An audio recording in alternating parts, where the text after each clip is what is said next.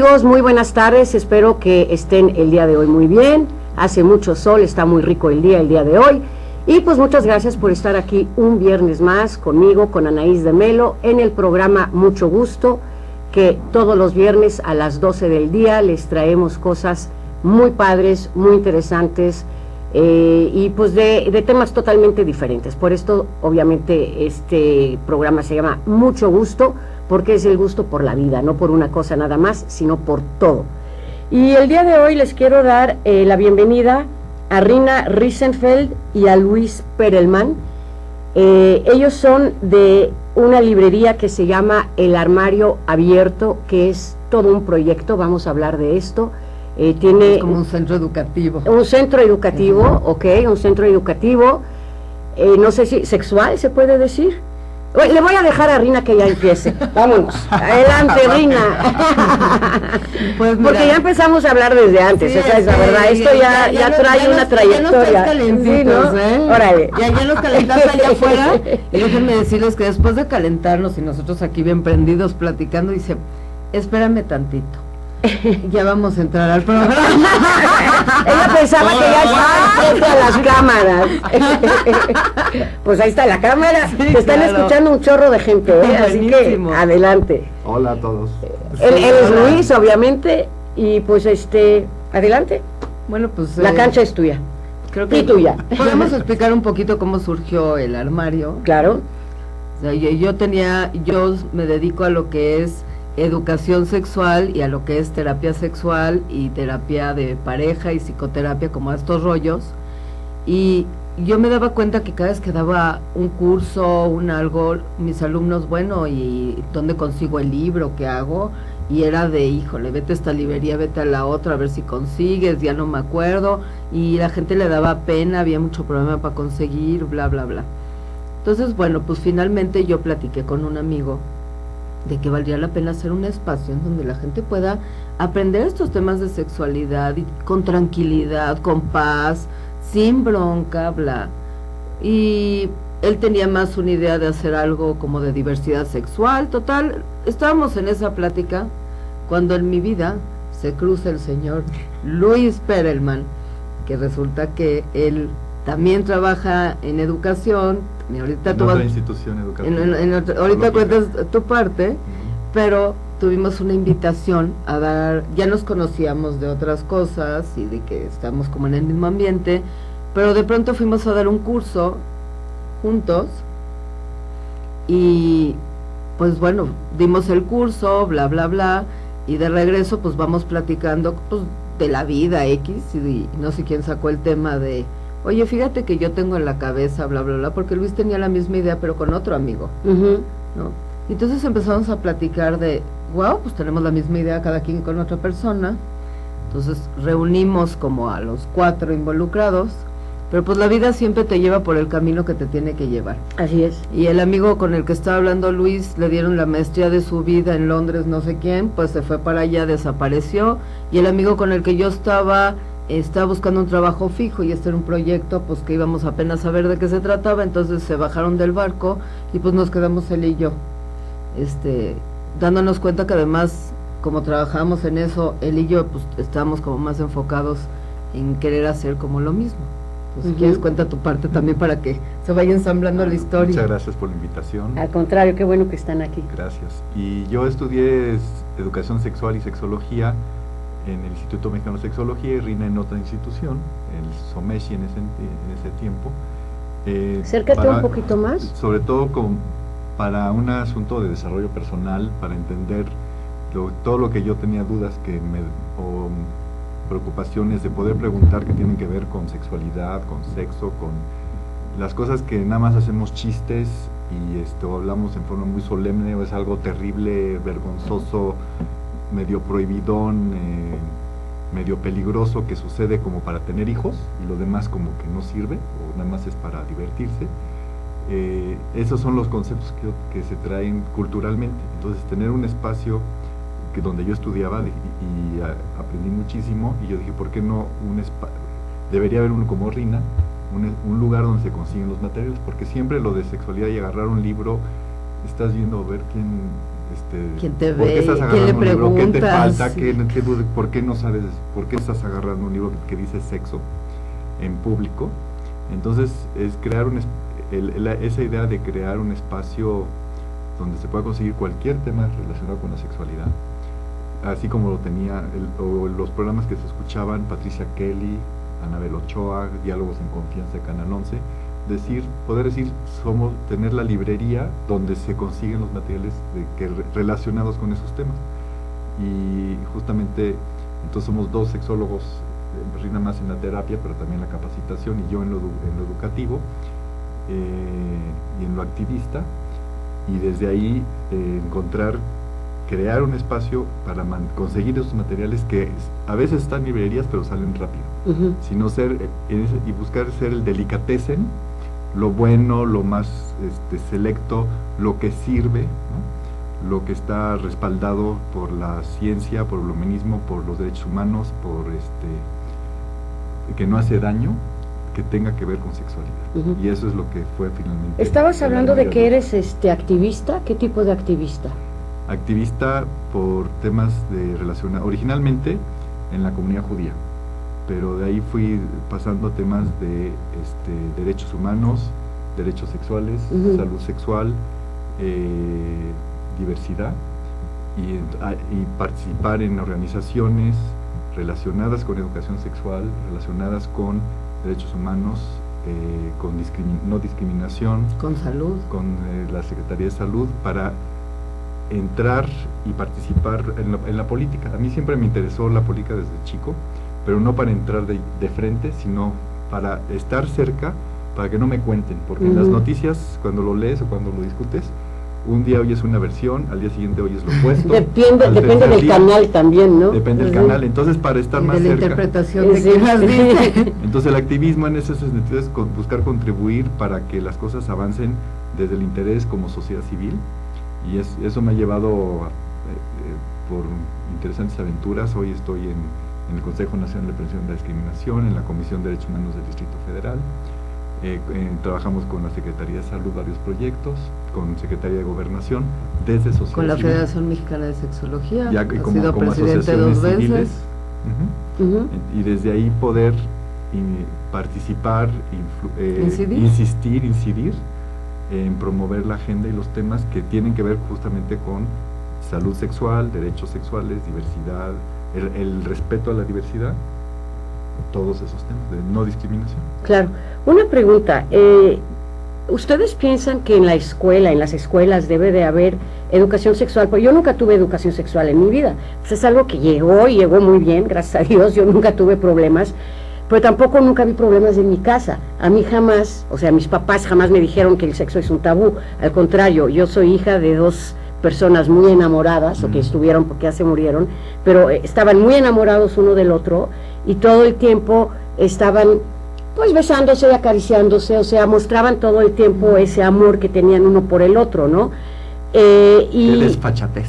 sí, qué ¿no? privado. Eh, Sí, no, eran, o sea, yo tengo miles y miles de fotos de mis papás, no hay una foto donde no están abrazándose o tocándose o dándose un beso o la manita, lo que sea, no hay, no hay, y tengo miles de fotos de ellos.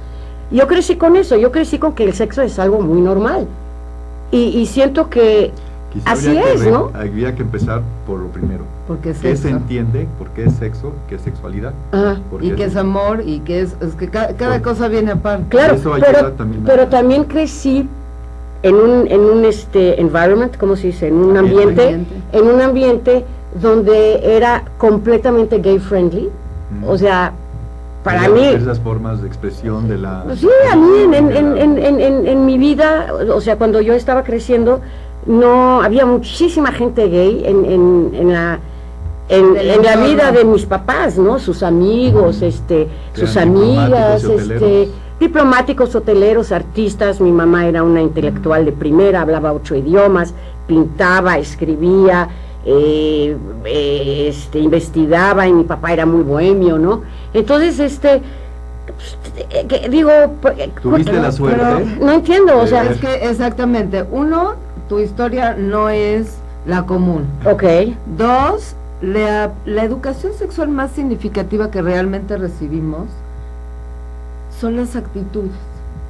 Pero ¿cómo Son es posible que en los- 2015... son los mensajes que la gente le da a sus hijos como tú ahorita más que hablar de discursos hablaste de todos los mensajes que te dieron tus papás o Sí. tu familia con las actitudes Pero que una pregunta, una pregunta, haz de cuenta, olvídate, vamos a olvidarnos de mi vida.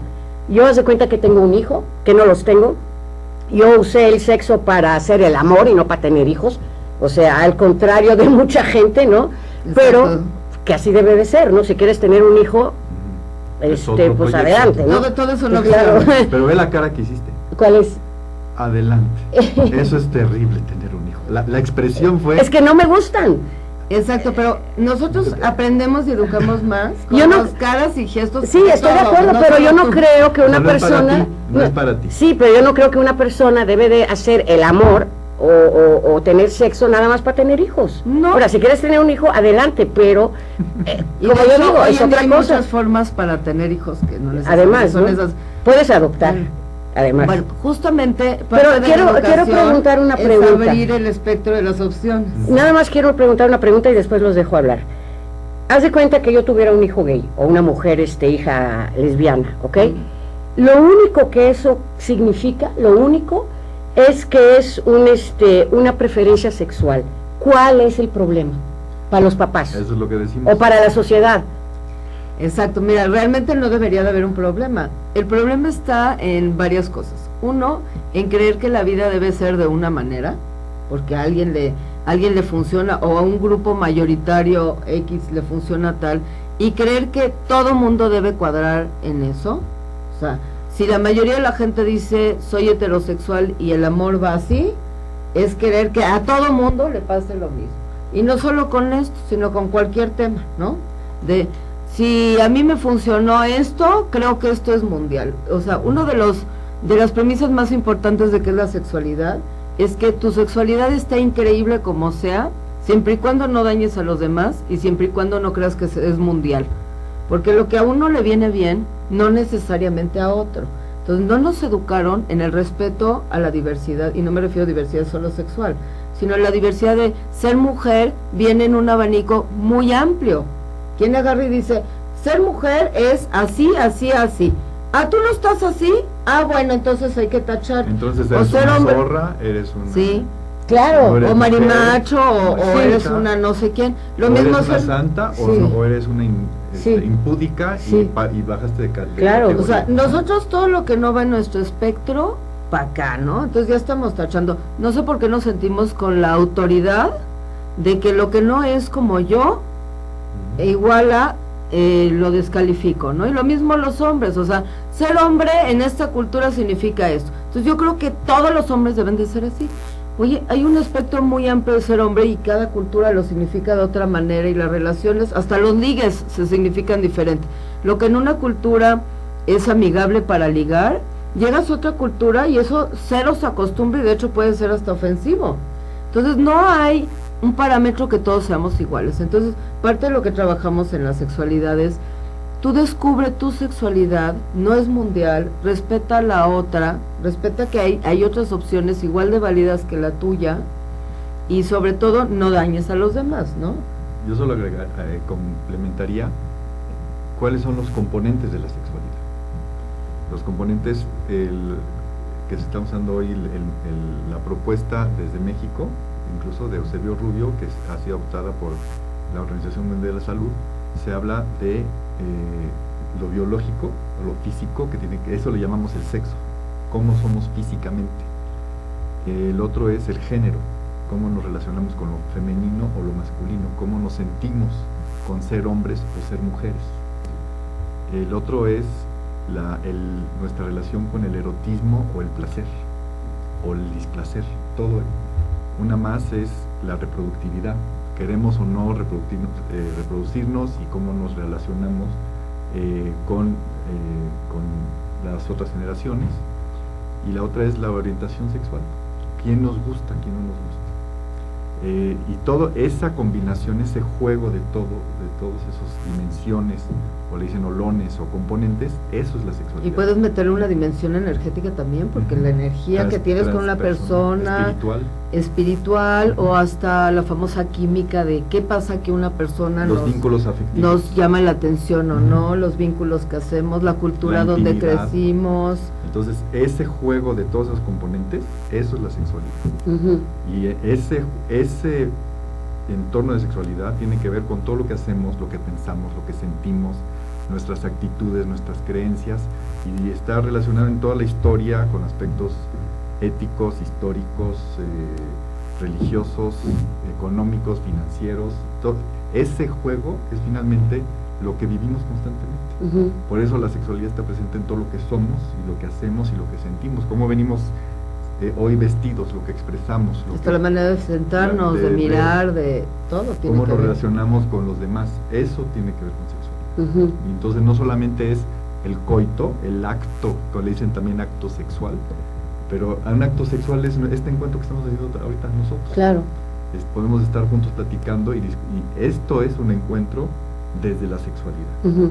Por eso, el- la- lo- la- hablando de comunicación, el mezclar tanto los términos, que es sexos igual a coito, igual a, eh, a veces también a, a- a reproducción y amor, cuando nada más es esa línea y todo lo que sale de ahí está mal, pues ahí ya, ya empezamos a...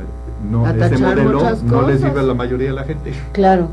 Claro, y también dentro de todo lo que dijiste, hay gente que rechaza unas conductas u otras por creencias religiosas, por lo que le dijeron, por lo que le funciona, por su propia expectativa de, si yo tengo la expectativa que quiero un hombre en mi vida así basado y no está así, me cae increíble pero no cuadra con mi modelo, entonces ya fuchi, si yo quiero un hijo o una hija que sea así asado y resulta que me dice que es gay o que es lesbiana, fuchi, o Yo sea, quiero tener un orgasmo, pero no tengo con quién, ah, pues me lo doy a mí conmigo mismo y con fantaseando con lo que más me gusta. Pues hay gente Una buena película y un vibrador O ya. una buena Pero ¿cuál es el problema, no? La, que- la persona Sí, que te claro. gustó en la calle y la traes a tu, te dicen en inglés el spank bank, Ajá. tu banco de, de imágenes eróticas, Sí. lo traes a tu memoria y haces lo que quieras hacer con esa persona y te vienes. Ujú. Pues eso también es una Claro, experiencia obvio. erótica Sí, sí, sí. con- en donde tú te involucras o aprendes a tocarte, aprendes a disfrutar tu cuerpo, Sí. hacen cómo te relacionas con otras personas desde experiencias negativas que muchas personas desgraciadamente lo que sí le estamos luchando lo principal si hubiera que hacer una sola cosa ojalá y pudiéramos luchar contra la violencia y el abuso Sí. para que la y gente mucha gente su primera educación sexual fue entró a la vida con la con aspectos negativos. entonces tenemos que cambiar eso. Es, es lo que estamos luchando para que la gente de veras pueda integrarse y no odiar lo que, las experiencias que ha tenido, para de veras apreciar, poder saber poner límites. Esto no me gusta, esto sí me gusta, hasta aquí, ya no quiero, hoy no, contigo no. Pero a ver, yo les quiero hablar de una anécdota que me pasó en Israel, cuando yo vivía en Israel, cuando yo era chica, a los 10, 12 años. Mi papá era el director general de un hotel muy conocido allá, sea, el número uno en Jerusalén. Y en las... ¿El eh, del rey? ¿eh? ¿El del rey? Eh, King David, sí. Sí. en esa época, estoy hablando hace, ¿qué será? 20. 48, 50 años. Ay, y entonces, eh, todo, todos los, eh, los veranos yo iba a nadar a la alberca del hotel. Y estaba yo nadando en el hotel, pues a mí me gusta mucho nadar, y llega un señor que estaba allá dentro de la, de la piscina. Yo era muy guapa cuando yo era joven, o sea, desde bebé, la verdad. Eh, Eras Eso- atractivo. muy atractiva, sí. Y pero siempre he sido desde muy chiquita muy un poquito provocativa, ¿no? O sea, no, Coqueta. no, coqueta, sí, pero no sé de dónde viene eso. A lo mejor es un gen. Pero eso no importa. Lo importante es que yo tenía el pelo güero, largo, era muy guapa, este, tenía 10, 12 años, estaba nadando y, y llega un hombre que mucho más grande que yo, que en esa época de haber tenido 30 o 40 años, y me agarra por, ¿cómo le llaman ustedes? Este, la vagina o no sé. vulva. ¿Eh? Por el entrepié. Pues me agarra con la mano, genitales. los genitales, ándale, ¿no? Y me agarra los genitales. Pero yo entendí, nadie me había dicho que eso es malo. pero yo entendí que eso era malo, ¿no? Entonces agarro y le doy una mega bofetada al pobre cuate. Y claro, como yo era la hija del director general, pues luego, luego vinieron los cuates de seguridad, ¿qué pasó? No sé qué. Y Yo muy inocentemente le digo, este señor me tocó aquí, sin saber. Sí, Pero yo creo que es un instinto. O sea, a mí nadie me había dicho de chiquita, porque no, no piensas, o sea, como papá o como mamá, no piensas que esas cosas van a pasar, ¿no? Entonces no te dicen, oye, si alguien te toca aquí o Hoy alguien te sí, toca acá, hoy sí hoy sí, no, hoy sí, pero estamos hablando de hace 50 Claro. años. Pero yo entendí por instinto que este cuate estaba haciendo algo malo, claro que eh, algo está pasando en este momento. Me estoy acordando de algo que pasó hace 50 años. Es increíble. Pero se queda. Y no fue ni siquiera abuso sexual. No. No, y- una, apariencia que tú no querías. eh, claro, Agradable. pero entendí, le di una mega bofetada, llegaron los elementos de seguridad, llegó mi papá, llegaron los policías, bueno, se armó la cosa, pero eso es otra, otra cosa. Lo que sí entendí a los 10, 12 años de edad es que eso no se debe de hacer. ¿Por qué no lo entienden la- los niños? No lo entienden. Que tú tenías muy claro tus límites, disfrutaste tus- tu misma corporalidad, tú se- sabías que Ajá. podías transmitir agrada- eh, cosas agradables a la gente y sabías poner límites, esto no quiero. Pero ¿cómo no sabía? Co- Cualquier niño lo puede saber, eso Igual es mi como hay, pregunta. hay No, comida no a que todo mundo le queda claro. ¿No? Porque no se habla, Ajá.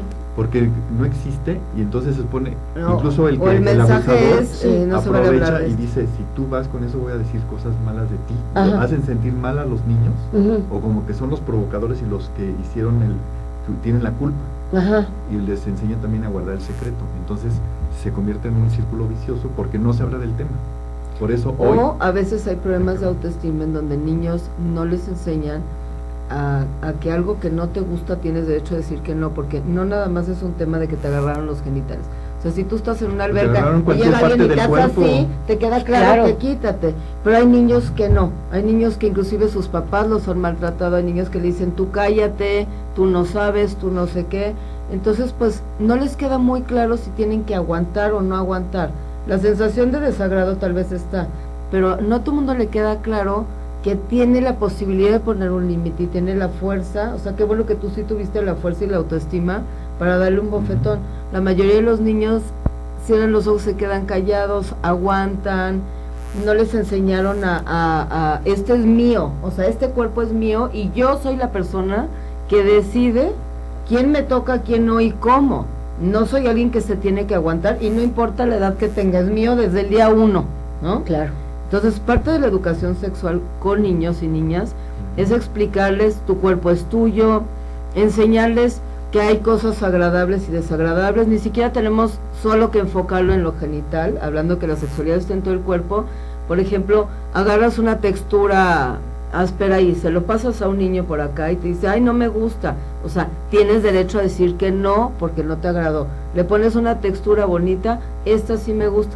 Cuando una criatura puede distinguir qué me gusta y qué no me gusta en cualquier parte de su cuerpo, es que realmente no solo ahí, va a tener los elementos y la autoestima y la fuerza que tú tuviste para cuando alguien le hace lo que sea, así, y poder decir, oye, no me, no me toques así, no me agrada, no me gusta, o no tienes derecho de, de agarrarme nada, o toda esta fuerza sí se puede educar y transmitir, que ojalá y todo el mundo hubiera crecido en el entorno que tú, pero no es lo que tiende a pasar, y menos en la cultura que tenemos en México.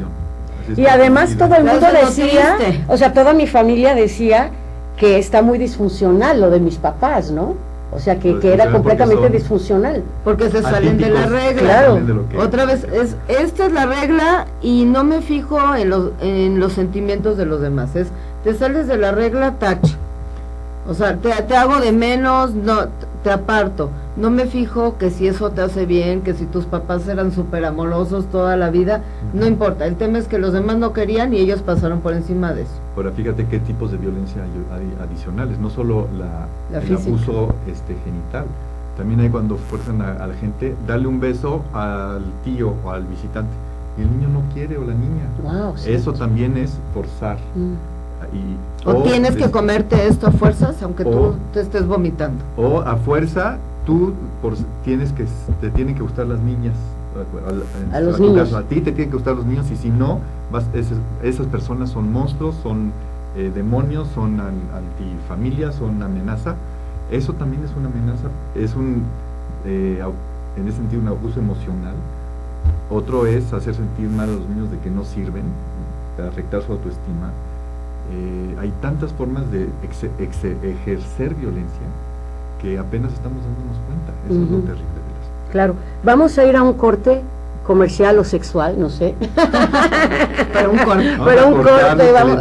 Sexual que estamos eh, nada más quiero darle eh, un saludo a mi amigo Jerry. Hi Jerry, I hope you're watching. And uh, we're talking about sex, by the way. Sexuality. Sexuality, education. Education, sex education. a propósito surge un nuevo canal de sexualidad. ¿Ah, sí? En canal de cable Sexuality, Health and Entertainment. Ah, Sexuality, Health and Entertainment, ok. Muy bien, pues para los que nos están viendo, debe de ser un canal muy muy educativo, me imagino yo, sí. Tiene 32 programas para que vean lo poquito que es la sexualidad. Ah, 32 programas completamente diferentes uno del otro, o sea, abarcan diferentes aspectos de la sexualidad cada programa. Ah, muy bien. Pues vamos al corte y regresamos. Y ay, no quiero, no quiero terminar el día de hoy esta entrevista y esta plática está fabulosa. Ahorita regresamos. Gracias.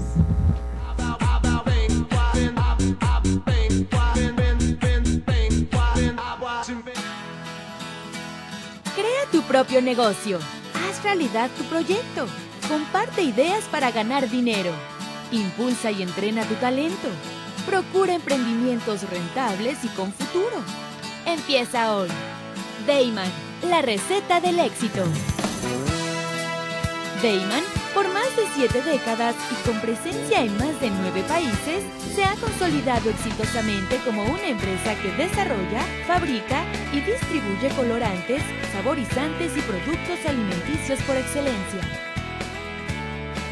Nuestros productos abastecen a una amplia industria dedicada al manejo de alimentos micro, pequeña y de media a grande escala, ya que estos cumplen con altos estándares de calidad a nivel nacional e internacional y están elaborados para satisfacer las necesidades del mercado y gustos de nuestros consumidores.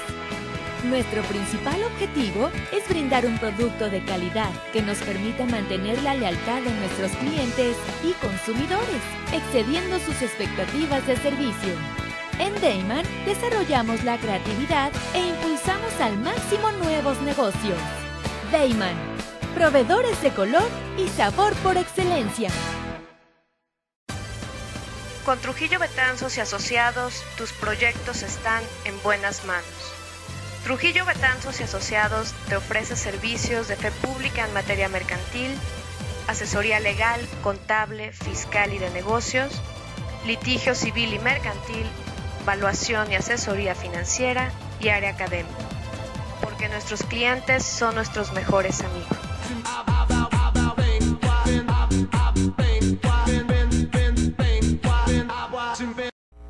Muy bien, pues ya regresamos. Eh, vamos a hablar de qué estábamos diciendo en el aire que querían ustedes hablar de. Está, es que estábamos hablando sobre los niños y entonces parte de lo que también queríamos platicar es que un, una parte central del armario abierto, aunque tiene materiales para todas las edades y todas las sexualidades, sobre todo nos preocupa aspectos de pareja, aspectos de niños y aspectos de diversidad sexual son los aspectos que más nos han preocupado y para niños, porque mucha gente se pregunta, bueno, pues todo esto que están hablando, bueno, ¿y cómo le hago con mis hijos? ¿Cómo les dices? ¿Qué haces? En el armario hay toda una sección de libros de tres años en adelante, que ya viene por edades y viene con muy educativos, para que tú puedas sacarle el libro desde de dónde venimos. La verdad es que todos deberíamos de tener en la casa libros de diferentes temas, incluyendo temas de sexualidad, temas del cuerpo, temas de de cambios corporales. Hay mucho material y tenemos muchos juegos este, didácticos hechos para chavos, hechos para adolescentes, que se pueden jugar desde escolarmente hasta familiarmente, así de tú como mamá no sabes cómo sacarle a tus hijos de 11, 12 años, cómo, cómo hablarles del tema, te sacas tu tablero y es tipo maratón. Ahí vienen las preguntas y respuestas y cómo se hace. Puedes ir educando a tus hijos de una manera lúdica, divertida, amigable. Y, eso es muy importante y así va llegando la información, les vas avisando cosas y también los vas escuchando, que luego creemos que la educación sexual es, yo como adulto me siento y me la paso dándole discursos a los niños de qué es lo que hay que hacer y sobre todo hablamos en negativo, que no te hagan, que no te embaracen, que no te toquen, bla, bla. pero ¿por qué no hablar también de descubre qué te gusta, quién eres tú, qué sientes, qué haces, pregúntale a tus hijos cómo se sienten desde los cambios físicos, cómo se sienten, hacia quién se sienten atraídos, quiénes son, qué les gusta, cómo cada quien vive su ser mujer, su ser hombre, o sea, la educación es un intercambio, no es nada más un discurso de yo me paro igual, guau, guau, guau, guau, sino escucha, intercambia, juega, puede ser más lúdico de lo que parece. y de los materiales justamente para eh, trabajar con los jóvenes y adolescentes, los principales son prevención del abuso o identificación del abuso sexual y de la violencia. Hay unos eh, materiales que se llaman Mi casa, mi caso, donde des- describen situaciones eh, y cuatro opciones de qué hacer si te toca este tipo de cosas del el tío o el padrino, el padrastro que está manoseándote. Qué horror.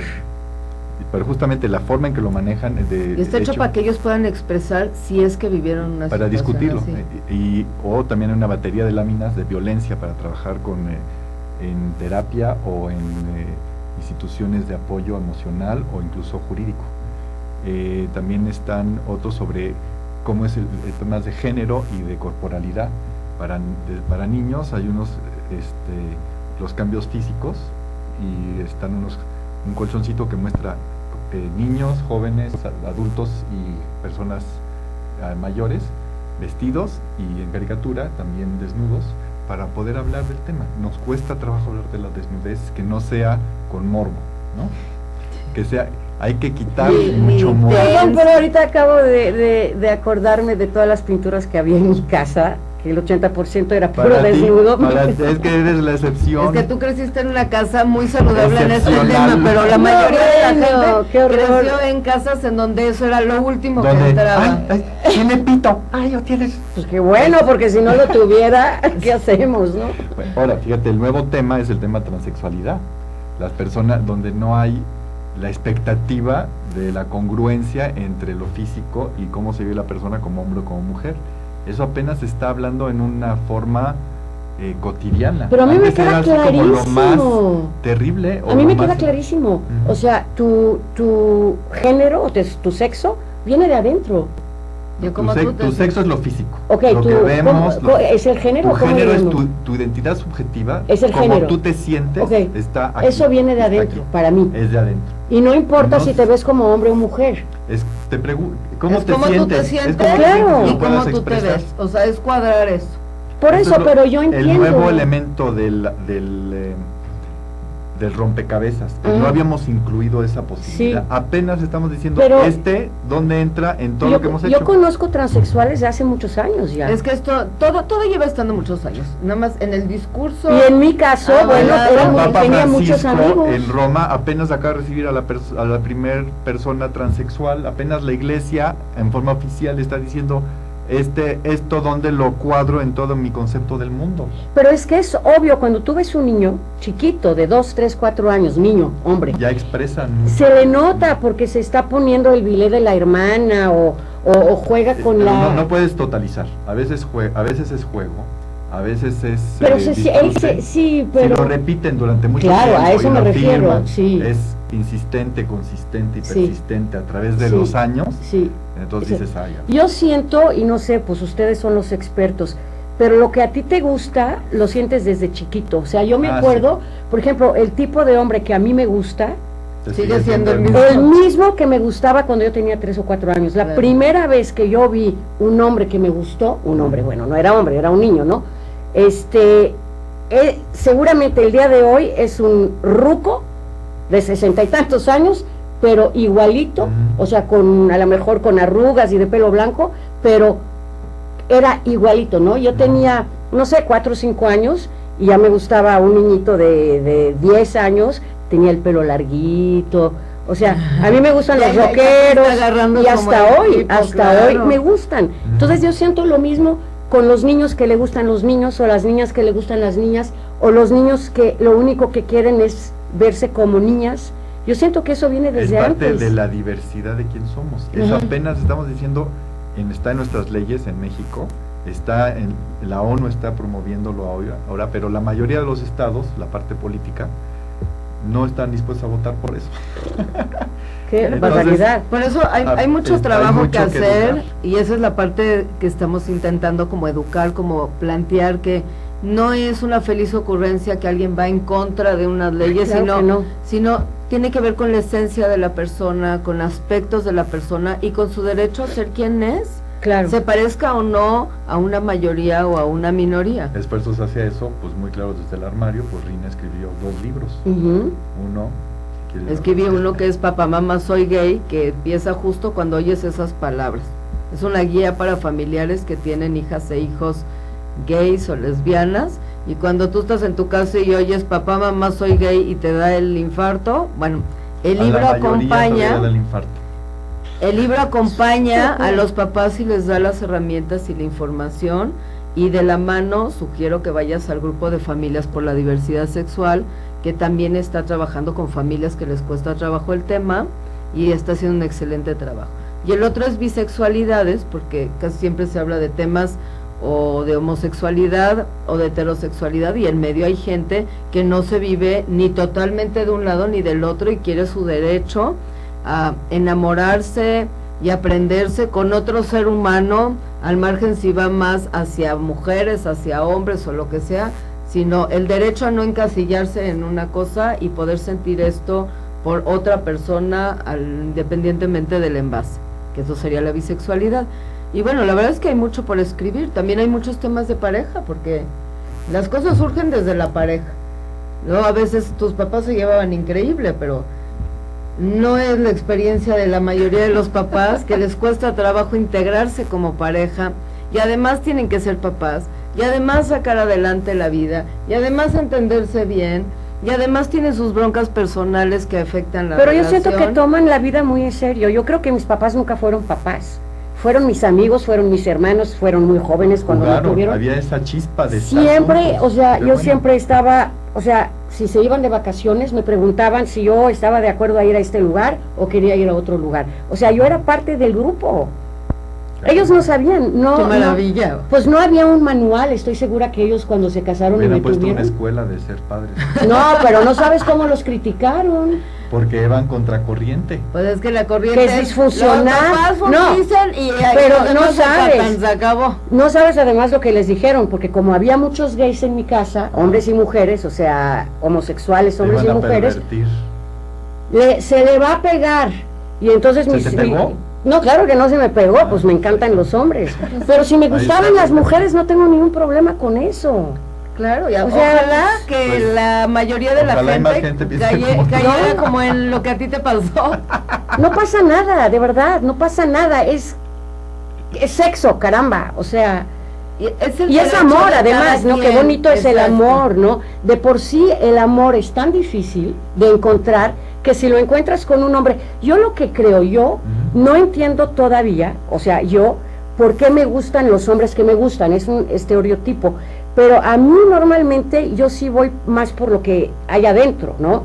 Claro. O sea, yo creo que uno se enamora o se debe de enamorar de- del alma, del espíritu, no tanto del físico. Pues sí, pero dentro Porque el físico eso, nada más me gusta, punto. claro, y la verdad es que la gente hace clic con el espíritu de alguien, pero también lo físico pues marca direcciones de cuál es nuestro tipo. Ahora, hay gente que lo físico le es muy significativo y tiene ciertos patrones. Hay gente que no tiene tanto patrones físicos, pero tiene ciertos patrones de la gente emocionalmente que elige.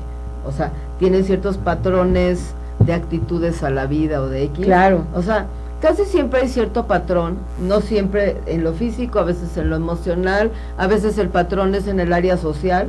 Te agarra cierta gente que de su modo de relación tiende a ser de X forma, ¿no?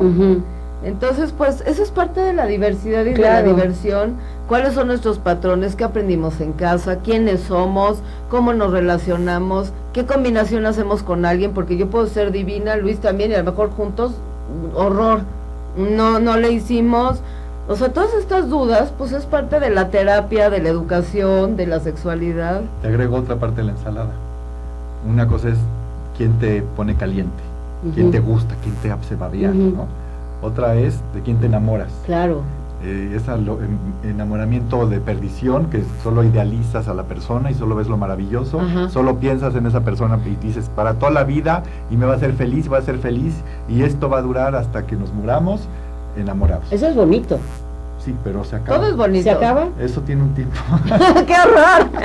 Eh, no siempre dura con esa misma intensidad o con la misma persona, Pues o se aparecen otros transforma, ¿no? elementos Se o se transforma. transforma. O aparece más la rutina, ya, y descubres cosas de la otra persona que no sabías o no habías visto. O este, empiezan otras situaciones que no habían abordado y, y- o hay conflictos y no saben abordar los conflictos y las dificultades. Hoy muchas parejas abandonan la pareja porque dicen, yo no soporto eso. Antes decían, no, tienes que aprender a, a soportar o a llevar las dificultades. Hoy es eh, mucho más frágil en ese sentido. O se aprende, saber que va a cambiar, puede cambiar. O aparece la rutina, esa calentura que, lo que La pasión. la pasión tan fuerte, como que ha menguado así, como que ya llegó al el río, que la catarata ya está en un río tranquilo. Pues te Sí, vas con otro, pero te quedas con la pareja.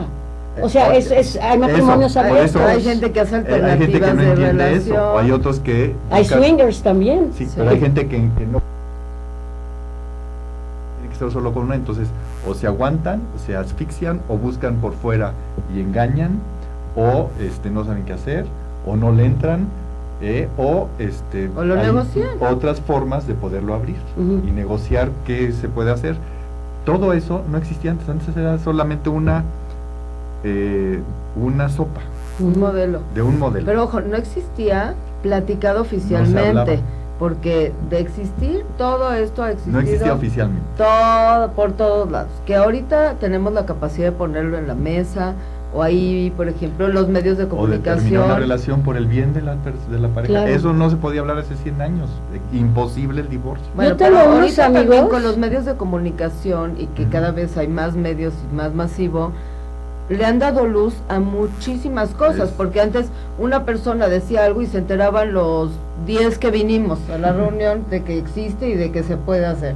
Hoy en día tú entrevistas a alguien y le llegas a bla de personas que dicen, ay, yo también vivo eso y lo tenía en secreto y ahorita la gente habla más porque también escucha más. Pero a ver, una pregunta, ¿qué es lo correcto? Yo, por ejemplo, tengo unos amigos que se adoran, llevan casados 45 años, muy guapos los Yo dos, diría que muy serían los correctos. Los correctos, ah, claro. Es que lo Y correcto esta tiene que ver con pareja- la persona y la pareja, ¿no? Mira, es esta, esta pareja que ya debe de tener sesenta y tantos años, pero todavía muy bien físicamente, muy bien posicionados todo, ¿no? Se adoran, se quieren, se aman, ya los hijos están fuera, ya son abuelos, ya todo, y se encontraron ellos solos en la casa, aburridos uno con el otro y no sé qué, pero no se quieren separar, se adoran, y optaron, pero se adoran en serio, o sea, sí hay amor Ahí la parte optaron, optaron, por, por, por tener como un open marriage, ¿no? O sea, ¿cómo le dicen eso? Una relación abierta. Relación abierta. Eso me parece muy bien. Y ellos lo dicen porque además son gente muy abierta y lo dicen y todo el mundo los critica. Ahí está. Muy mal. De, No nos han enseñado no es a respetar lo que a cada pareja y a cada persona le viene bien. Honestamente somos unos metiches de la vida ajena y del amor. O sea, lo que opinamos todo el día sobre la relación, sobre la pareja, sobre el otro, sobre lo que debería de ser, no debería de ser. No sabemos lo que es. Qué bueno que te funciona a ti al margen, que yo lo haga o no, pues. Pero el arte del respetar, qué bueno que a ti te gusta esto, qué bueno que tú te sientes así, qué bueno que esta relación funciona con este formato. No sabemos lo que es escuchar, aprender y respetar, me venga bien a mí o no. Nosotros luego, luego vamos con que si yo creo que este es el esquema, voy a reprobar a cualquier gente que rompa ese esquema. Le funciona al otro, no, ojo, porque tú has puesto ejemplos de gente que le funciona y está contenta. Y sin embargo, ahí viene la crítica y la juzgada. Hay mucha gente que es diferente por algo y le viene bien. Nosotros somos unos metichotes que ni siquiera, bueno, yo siempre me pregunto de dónde sacamos la autoridad, porque ni siquiera somos expertos en el tema, ni siquiera sabemos nada, ni siquiera quién nos, quién nos coronó como para agarrar y decirle a otra pareja si eso está bien o mal, o a un, otra persona si la forma como es es correcta o no es correcta. Lo que es correcto y lo que está bien es personal, no es mundial. Lo que a mí me viene bien, no le viene bien a todo mundo. Coinciden unas cosas con unos y en otras con otros y en otras no. Pero cada quien tiene su tono, su necesidad. Y cada relación tiene su tono, su necesidad y su dinámica. Entonces, Ahí, por ¿cómo ejemplo, nos aplicando atrevemos? lo que dijo Rina al principio, en la situación que tú dices. Eh, ¿Está bien o no está bien? Bueno, el primer tamiz sería, ¿está lastimando a alguno de los dos? ¿No? Es un acuerdo, es entre personas que están conscientes de su responsabilidad. Eh, ¿Están afectando a terceras personas? Quizá se, se- podríamos decir, bueno, no lo hagan tan público si hay gente que se va a molestar. Sí. Manténganlo en un Es- círculo. pero lo, lo dicen entre gente, amigos. Pero hay amigos que pues dicen, no, ¿cómo es posible? Sobre todo las mujeres. O sea, las parejas, mujeres de, o de vayan algunos educando amigos. a otras sí. personas. Y eh, si alguien no está de acuerdo, pues no le no tiene, eh, no están infringiendo ninguna ley, no están hecho haciendo daño a nadie. Nada más vayan midiendo con quién lo comparten y o si quieren este educar a más personas, pues es su decisión también. Entonces, eh, con esos parámetros, eh, y si algún momento quieren cambiar las reglas del juego, pues lo pueden volver a negociar, a discutir. Es, es- ahí diríamos, en ese sentido, no tenemos nada, que justamente no tenemos nada que decir y es lo correcto en este caso para estas personas. Pero quizá hay veces de la pareja que dice uno, yo quiero abrir y el otro dice, yo no estoy de acuerdo, yo no puedo, no, no estoy listo, no me gusta, no... Ese es uno de los Ese es- conflictos que a veces hay con ese tema. Que una de las dos personas sí está dispuesta y la otra no se siente como para eso. Ahí sí hay- es un tema, porque son los mismos de adentro, no de afuera. Ahora, una pregunta, si hay una pareja que está casada muchos años, o sea, están bien y todo, y el hombre de repente quiere hacer otras cosas que a lo mejor en su vida sexual no el lo han hecho. deseo y la intensidad con la... Y quiere hacer otras cosas de alguna manera, no sé, a lo mejor ver una película pornográfica y agarrar el vibrador y o sea, hacerlo otros- por atrás, yo qué sé, lo que sea, jugar diferente. Y la mujer no quiere. Ujú. ¿Qué, ¿Quién está bien y quién está mal? ¿O no hay? Volvemos a preguntar con el tamiz. y- Volvemos a la pregunta, no es que alguien esté bien o mal. Tienes dos personas que conviven juntas, cada una quiere otra cosa. Es A, busquemos un punto de negociación o de, a ver, no es lo mismo que alguien diga que no quiere algo porque le falta información o porque tiene aquí un tabú, un mito. Por ejemplo, si ella dice, yo no quiero ver pornografía porque eso es sucio y feo, y a lo mejor podemos platicar un poco de dónde sacó ese parámetro y no, necesar- no es así, pues, ¿no? Y tal vez eso se Toda puede la negociar. pornografía no es terrible. Exacto, o qué pornografía vemos, a lo mejor podemos agarrar un término medio que le venga bien a los dos, o sea, hay puntos que se pueden negociar, puntos que se pueden trabajar y puntos que a veces es que cuando tú estás con otra persona, a veces no se puede todo, o sea, tener una pareja tiene áreas muy frustrantes, porque tú solo tienes el 50% de las acciones, fin del evento, no, no tienes más. Entonces, sí A menos que dependes. seas machista y crees que son preferentes. No importa, al final del día de todas maneras tienes el 50%. Y la otra persona tiene el otro 50%. Entonces, por ejemplo, no sé, si el señor se muere de ganas de tener sexo anal y ella dice, no es un prejuicio, no me gusta la sensación. No Pero no lo conoce. pero hay gente que no lo quiere conocer y es su cuerpo. Y dice, no lo quiero ni probar ni conocer. Se puede hacer un juego de acercamiento un poquito por afuerita con el dedo como para que tante el terreno. Y si al final de cuentas ella dice, no me gusta, no quiero, o sea, me pone mal, es, volvemos a lo que hablamos hace rato, es su cuerpo. Claro. Tú no puedes, seas la pareja de quien sea, agarrar y forzar a otra persona, porque entonces ya no estamos hablando de sexualidad, sino de abuso. Claro. ¿no? Ella tiene derecho, por la razón que le venga en gana finalmente su cuerpo, decirte que no. Lo más que puedes negociar es, bueno, déjame tratar por afuerita, vamos a ver si, pues si resulta me- agradable, si hay alguna manera. Y si ella dice, cero, Pero ahí viene No otro problema. quiero. Entonces el hombre dice, no lo puedo hacer con mi mujer, voy a ir a buscar una que sí me, me deje hacer todo esto. Y después su esposa se No. molesta, ¿por qué te fuiste con otra? sí y no, porque a veces es parte de la frustración. Si no me estás diciendo, o sea, si yo sigo lo que tú me dices, me estás diciendo que yo tendría que cumplir todos los deseos de mi pareja, o es una invitación para que se vaya con otra persona. Pero el sexo es rico, de cualquier manera. Muchas cosas son No, hay ricas, no mamita. son No, ricas. ¿Cómo qué? todo es rico. Hay, cosas- hay cosas que a El sexo no no hay mucha gente que no le gusta. ¿El No, sexo? El sexo anal, hay mucha gente Ah. que no le gusta. Hay gente que le dan mucho asco los besos de lengüita. No los siente ricos. Se siente un asco de quiero vomitar. Entonces no les gusta el sexo. No, no No, les gusta eso del sexo. Es que no, es que el sexo tiene un buffet de actividades. Ok. Y hay gente que no le gusta. Si, si lo quieres ver así, velo como la comida. La comida es muy amplia.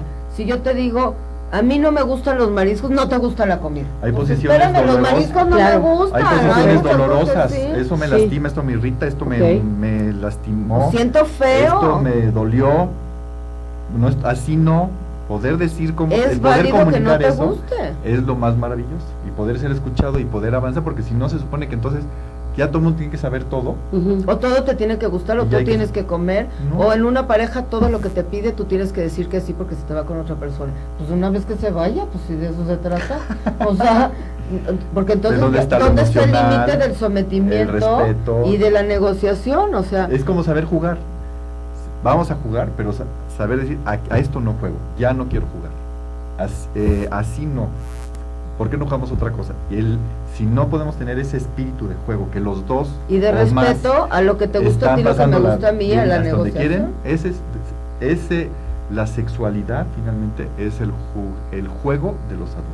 Ujú. Y, lo, y, Y el, y el juego desde el, lo el juego positivo. preferencial de los adultos. Por eso debería ser con buena actitud, Claro. con cui- saberse cuidar, porque hay actividades, hay que saber si hay infecciones o enfermedades, hay que saber prevenir, hay que saber pedir ayuda, si hay un embarazo no deseado, eh, que se decide. o si las qué- cosas no están qué funcionando, si alguien no se si siente lo emocional no funciona, si hay un asunto de terceros, si hay una situación personal, financiera, política, económica, este, social, espiritual, religiosa que afecta, todo poderlo eh, discutir, eso es parte de estar juntos.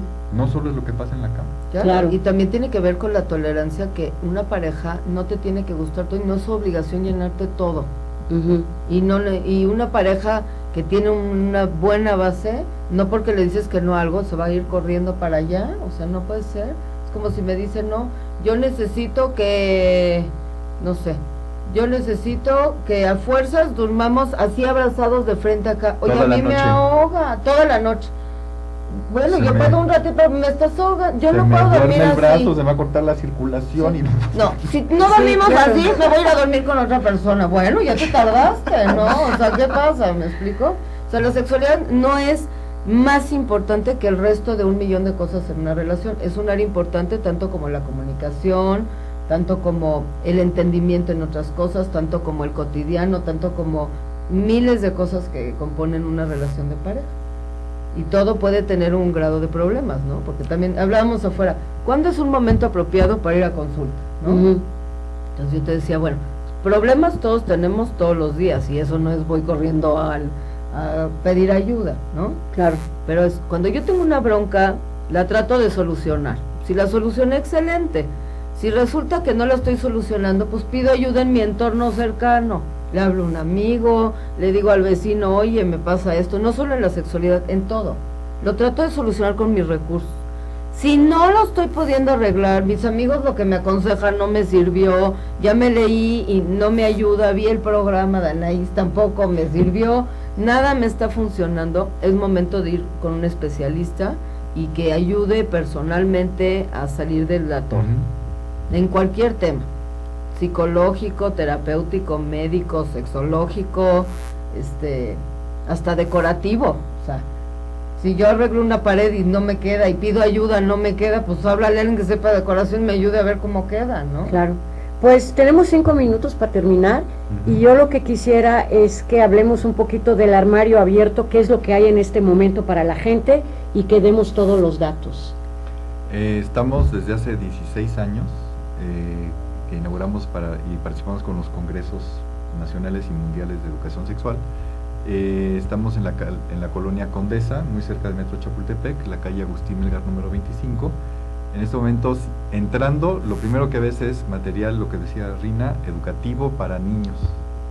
Eh, todos los temas relacionados con sexualidad explicados en un lenguaje apropiado y se puede hablar de todos los temas con los niños adecuándolo a cada edad. Eh, o saber, saber poner límites. Entonces hay los temas, niños, los temas de abuso, de violencia, adolescentes, las, los temas, de pareja, familias, cómo hablar con los niños sobre diversidad, que es lo nuevo hoy. ¿A poco le puedo decir a un niño que dos hombres y dos mujeres se pueden querer?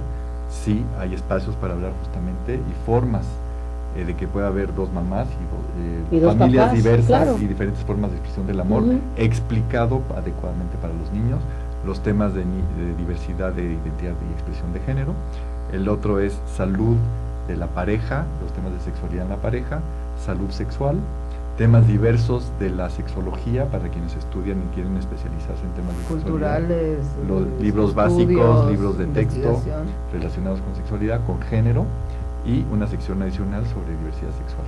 Y una completa sobre materiales didácticos eh, educativos que tienen que ver, como decíamos, de género, eh, de violencia, de sexualidad, de salud reproductiva.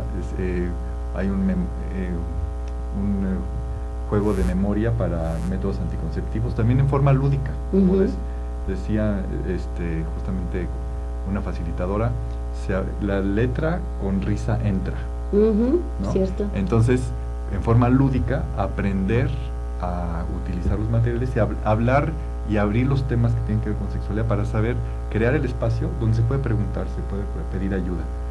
Eh, modelos sobre didácticos sobre salud reproductiva, tenemos modelos pélvicos de acrílico para ver cómo son los órganos internos de eh, femeninos los eh, órganos masculinos genitales, los tenemos penes eyaculadores que no ves en las sex shops, ¿no? Pero se muestra. Si le pones mal el condón, lo eyaculas y queda muy claro porque hay que muestra claramente en forma didáctica, hechos para escuelas, eh, estos, estos eh, modelos para que la gente vea, ah, esto es lo que pasa, ¿no?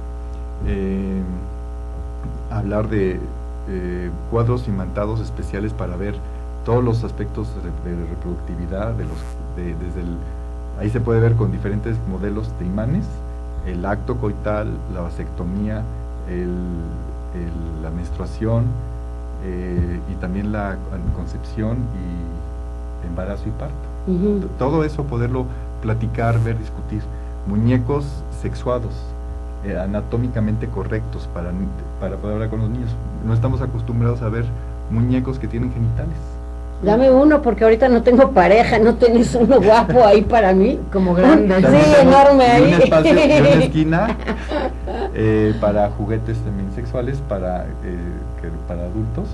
Eh, para más, como vienen, entran niños, es un espacio más de lado para que se puedan... Y están, son estéticos, entonces queda muy bien. Hay para todo mundo y somos un espacio seguro. Me queda claro, es que es como una escuela. Es, como escuela, porque esta es la parte de materiales y de este, libros y recursos didácticos. También damos cursos, talleres, conferencias. Y terapia. Y también damos terapia. Que eso es muy importante. Y orientación. Apoyamos a grupos activistas de familias que tienen hijos gays, lesbianas, bisexuales y transgénero.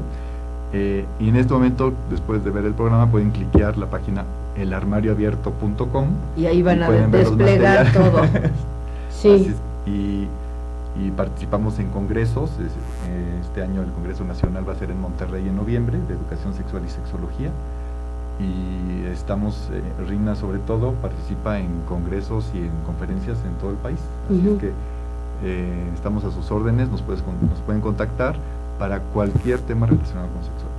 ¡Wow! ¡Qué interesante! Y hoy en día, a través de, la, de este activismo, yo, yo he podido ser presidente de la Federación Mexicana de Educación Sexual y Sexología, lo fui cinco años y fui co-coordiné tres congresos y hoy estoy en la Asociación Mundial para la Salud Sexual, soy el secretario regional para el continente americano. si, van a, si nos ven en Singapur, nos vemos en Singapur en julio. Ay, dilo en Singapur eso, ¿cómo se llama ese idioma? No, sé, no he ido a Singapur, así Pero es pues di las fechas y... Para julio, este, el Congreso Mundial de Salud Sexual, de donde pertenecemos, es la página es www.was2015.org y el Congreso Nacional en, en, México, en Monterrey, en noviembre, la página FEMES, f e m e s o la página educacionsexual.org.mx. Pero a los congresos cualquiera puede ir o Sí, tienes sí, que ser cualquier cualquier persona, persona. interesada. No, y hay te- muchos talleres. Ajá. Cualquier persona interesada en el tema de sexualidad no tiene que ser, es un encuentro para de colegas y de personas interesadas en todos los temas. de Y te echas además un maratón de diferentes cursos, talleres, Los ideas, talleres son este, maravillosos. presentaciones. Ahora, eh, ya tenemos que terminar, pero rapidísimo les voy a preguntar algo. ¿Qué piensan ustedes de la Expo Sexo? ¿Cuál de ¿Saben cuál es? La que sea. Pues depende cuál, pero Ah, La ¿hay que- buenas y la hay que malas? duró 10 años en el Palacio de los Deportes, Ajá. empezó incluyendo temas, pláticas y este conferencias y estuvimos presentes los dos primeros años, eh, pero después eso no era lo que le dejaba negocio a los organizadores y era más lo entretenimiento, era lo, el table dance y los el tipo, los Strippers y- los juegos tipo Spring Break Ajá. y nosotros no estamos eh, existe esa dimensión del, del juego de lo lúdico y del relajo nosotros estamos en lo, en, en lo educativo Académico, académico político científico. social Ok, entonces al final no nos hacían no, no era nuestro espacio ok. Eh, acaba de haber una ese, ese- y llaman a las a las estrellas porno y lo- acaba de haber el año pasado un nuevo expo que se llamó Passion Fest, desde Sí. la pasión, desde lo más erótico, lo elegante, lo mm, educativo. Ahí participamos nuevamente. Eh, entonces hay, de- hay varios espacios. Y hemos eh, hemos eh, eh, trabajado, hemos participado con casi todas las expresiones y manifestaciones y decimos claramente, esta es nuestra línea. ¿Pero creen no que una, no lega- una hay- pareja debe de ir a esos lugares? Eh, ¿Le- ¿En algo les va a beneficiar? Lo nuevo es de que afortunadamente se le echó luz a eso que antes pensaban que solo era para la perversión y lo terrible. Entonces poder eh, y verlo claramente, tú vas a tomar lo que te sirve de ahí, de cada quien. Entonces, y no tienes que hacer todo lo que hacen, eso es lo que lo nuevo. tú, tú siempre decides lo que esté bien para ti. Todo, todo puede resultar educativo. O Muy tomas bien. lo que te sirve. O dices, ya lo vi y no necesito volver a ir. O sea, Claro. no estamos diciendo que no vayan. Este, conozcan, vean, pero desde, sobre todo desde el- la integridad, desde la salud, desde la dignidad de cada quien. Y si el relajo incluye el respeto y no lastimar a otras personas, y desde la responsabilidad y lo legal, este, que la Muy bien. Pues muchísimas gracias a todos ustedes. Espero que les haya encantado el día de hoy eh, este tema. A mí me fascinó. Tengo muchísimas, muchísimas preguntas más, pero desgraciadamente no tenemos más que una hora. Y bueno, pues yo creo que ustedes van a tener que regresar porque bueno, yo creo que... Ah, será un placer. Sí, bueno, es que hay tantos temas, tantos temas, tantos temas que yo que pensé que era una gran experta en sexo ya me doy cuenta que no sé nada. Y qué bueno, ¿no? yo todavía me falta mucho para aprender. Eso es lo que divertido del bien. sexo, que es algo que difícilmente la gente termina de De armar. La sexualidad. La sexualidad. Hasta que sí, llegas a la tumba, cuando menos Sí. ni siquiera te conoces totalmente a ti. Claro. Pero bueno, sí, hay una gran diferencia entre sexo y sexualidad, eh, pero ahorita ya no hay tiempo para tocar este tema. Les quiero dar las gracias a todos ustedes por estar aquí conmigo un viernes más. Eh, el próximo viernes a las 12 otra vez nos vamos a ver. Y le quiero dar las gracias a, Ri- a Rina Risenfeld y a Luis Perelman del armario abierto y vamos a dar otra vez su página de internet para que le entren rapidísimo www. Elarmarioabierto.com. Ok, buenísimo. ¿Algún número de teléfono? En el Distrito Federal, 5286-0895. Ok, pues buenísimo. Muchas gracias Luis, Gracias. muchas gracias Rina. Me encantó, me fascinó y la verdad aprendí muchísimo. Espero que ustedes también. Nos vemos el próximo viernes. Peace and love y Jerry, see you later. ha ha ha ha ha